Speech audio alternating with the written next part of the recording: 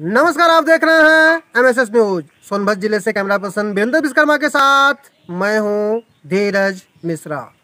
योग आज के जीवन में कितना महत्वपूर्ण है, इसकी जानकारी देने के लिए हमारे बीच संकल्प योग साधना शिविर का आयोजन किया गया। इस शिविर के माध्यम से यहाँ उपस्थित कुछ ग्रामीणों को थोड़ा सा अमूल चूल परिवर्तन करके सही जीवन जीने की कला को सिखाया गया। यहाँ पे इस संस्था के संचालक बड़े भाई अमरेश जी के द्वारा।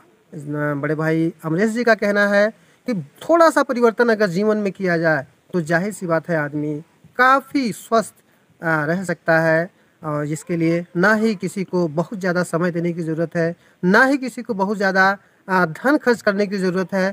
थोड़े से बस परिवर्तन से ही हम अपने दिनचर्या को बदल करके स्वस्थ रह सकते हैं। इस संदर्भ में हम बात करेंगे इस संस्था के संयोजक अध्यक्ष अमरेश जी से कि इनकी संस्था का उद्देश्य क्या है। अमरेश जी।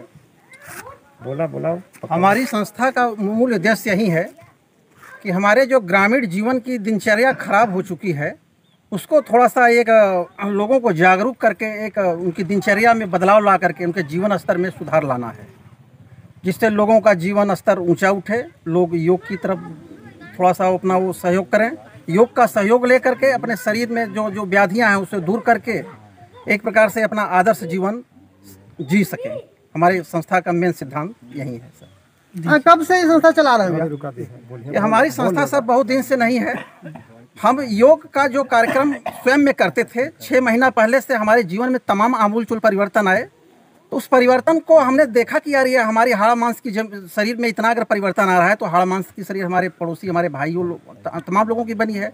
तो उन पे भी ये प्रयोग किया जाए, उनसे बताया जाए। अगर करेंगे तो उनके जीवन में एक परिवर्तन आएगा और वो जो है बीमारी से बचेंगे, अस्पतालों से छुटकारा पाएँगे, अपना अच्छा जीवन जिएँगे, खुशहाल जीवन रहेंगे। लोग भैया अच्छा कार्य करने के लिए शहरों की तरफ़ भागते हैं। आज जैसा कि पूरा समाज में दिख रहा है कि कोई भी कुछ कार्य करना चाहता है और आपने गाँव को चुना, यहाँ पे ग्रामीण महिलाओं को, पुरुषों को बुला के आप इनके बीच अपनी संस्था के बारे में बता रहे हैं, योग के बारे में बता रहे हैं। इसकी प्रेरणा आपको कहाँ से मिली?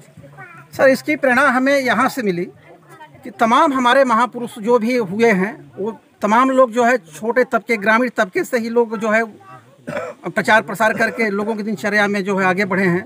तो इसीलिए हमारे मकसद में यही हुआ कि हमारे शहरों में जो जीवन स्तर है, थोड़ा बड़े पैमाने पढ़े लिखे लोग हैं, उनको सर मीडिया का जो है यूट्यूब का जो है, उनको एक सहारा मिल जाता है। और हमारे ग्रामीण में ये एक प्रकार से ये नहीं हो पा रहा है तो हमने सोचा कि एक जागरूकता ग्रामीणों में फैलाई जाए और उसका फ़ायदा दिया जाए लोगों को। इस संस्था के द्वारा कुछ महिलाओं को सम्मानित भी किया गया, कुछ पुरुषों को सम्मानित किया गया। और और बाकी कुछ जानते हैं यहाँ पे उपस्थित बड़े भाई से संस्था के बारे में और भाई अमरीश जी के बारे में। सर। भाई, ये जो योगा है, हम लोग करीब दो साल से यहाँ बगल में दो किलोमीटर बिहार बना है और लगभग चार बजे रात को शाम को, रात में हम लोग दस लोग, लगभग दस लोग, बारह लोग जाते हैं। इस समय मान लीजिए थोड़ा समय परिवर्तन हो गया है। करीब पाँच बजे सवा पाँच बजे या पौने पाँच बजे वहाँ पहुँचते हैं और योगा निरंतर दो साल से वहाँ चल रहा है। अगर जो भाई इच्छुक हो तो वहाँ आ सकता है अपना योगा प्राणायाम कर सकता है। कोई हाँ, इससे इससे हम लोगों को बहुत लाभ मिला है। व्यक्तिगत एकदम लाभ है हम मैं स्वयं करता हूँ। जी कोई ट्रेनर भी वहाँ पे है कि आप लोग ही ट्रेनर नहीं हम ही लोग करते हैं। मतलब ऐसा है कि एक भंते जी आए थे बहुत बिहार पर उन्होंने बताया कि आप लोग इसको कर करके अपने जीवन में बहुत परिवर्तन ला सकते हैं। और वास्तव में हम लोग दो साल से कर रहे हैं। आ, वहाँ जो भी मतलब अगर इच्छुक हो तो रात में करीब चार बजे इस समय मान लीजिए थोड़ा टाइम ठंडी की वजह से पाँच बजे कर दिया गया। वहाँ आ करके वो उस पर सम्मिलित होकर के उस कर सकता है। यहाँ पे भैया कुछ महिलाओं को कुछ पुरुषों को सम्मानित किया गया है। ये सम्मान इन संस्था की तरफ़ से ही था कि या क्या व्यवस्था थी? संस्था की तरफ़ से। किसको सम्मानित किया गया है? किस फ़ील्ड में? ये भैरवा गोबर वार्ड नंबर तीन में। स्मृति देवी मीना देवी और नंदलाल मौ दशरथ मौ नीलेश नीलेश। हाँ। क्या करना चाहते हैं? सर मैं खेल विभाग से हम इन्होंने हमें सम्मानित किया।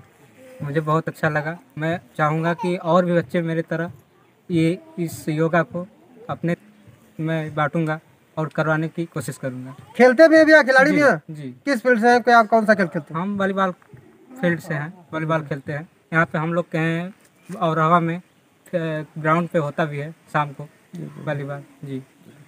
अन्य महिलाओं को सम्मानित किया गया। हम जानते हैं कि इतनी देर से इन बड़े भाई ने योग के बारे में बताया। क्या योग करना चाहती हैं ये लोग या नहीं करना? योग करेंगे आप लोग? करेंगे। योग करेंगे? क्यों नहीं है? जब हम लोगों के आराम है इससे हम लोगों के लाभदायक है तो क्यों नहीं करेंगे? ज़रूर करेंगे लोगों को बताएँगे कि आप लोग भी करिए आप लोगों को भी लाभ मिलेगा जो रोग तरह तरह का रोग होता है, इससे तो आप लोग, लोगों को छुटकारा मिलेगा।